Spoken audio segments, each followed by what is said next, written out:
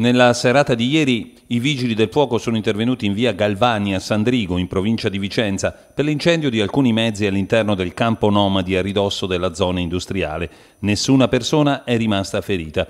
Decine le telefonate arrivate alla sala operativa del 115, anche per l'alta colonna di fumo nero visibile da molto distante. I vigili del fuoco arrivati da Vicenza e Bassano del Grappa con due autopompe e due autobotti hanno circoscritto e spento le fiamme che hanno interessato due furgoni, un'auto e una roulotte. Al termine delle operazioni di bonifica si è verificato un sopralluogo per determinare le cause del sinistro. Sul posto anche carabinieri e polizia locale.